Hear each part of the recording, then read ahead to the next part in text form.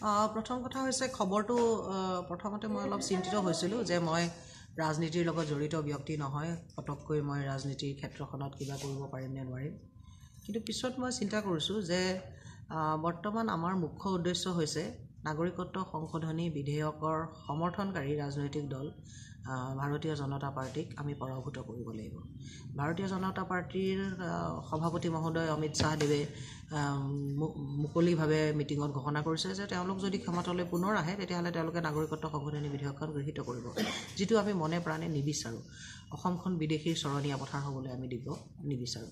গতিকে প্ৰথম কথা সেইটো। আৰু দ্বিতীয় কথাতে বিজেপিৰ বিভিন্ন কাৰ্যসূচী অৰ্থনৈতিক কাৰ্যসূচী যিবিলাক তেওঁলোকে লৈ আছে সেই কাৰ্যসূচীবিলাকক মই সমৰ্থন একেবাৰে কৰা নাই। তেওঁলোকে মানুহক সকলো প্ৰতিশ্ৰুতি তেওঁলোকে মানুহৰ একো প্ৰতিশ্ৰুতিয়ে ৰখা নাই মানুহক খালী ঠগিছে।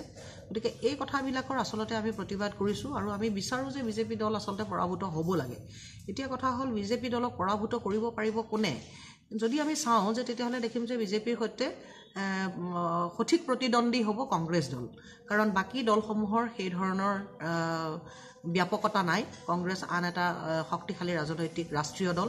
গতিকে কংগ্ৰেছ দলে যদি মোৰ প্ৰতি প্ৰাৰ্থিত্ব আগবঢ়োৱাৰ প্ৰস্তাৱ দিয়ে তেতিয়াহ'লে মই ভাবিলোঁ যে মই প্ৰস্তুত হোৱা উচিত হ'ব।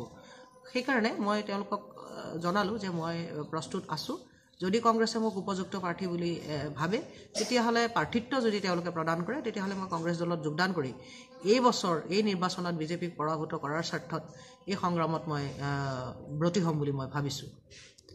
আৰু সন্মানীয় গুৱাহাটীৰ লোকসভাৰ সমষ্টি যিটো আপোনাৰ প্ৰতিদ্বন্দ্বী হিচাপে বিজেপিয়ে ভাৰতীয় প্ৰধানমন্ত্ৰী মাননীয় নৰেন্দ্ৰ মোদী দেৱক প্ৰক্ষেপ কৰাৰ কথা ইতিমধ্যে চৰ্চা হৈছে।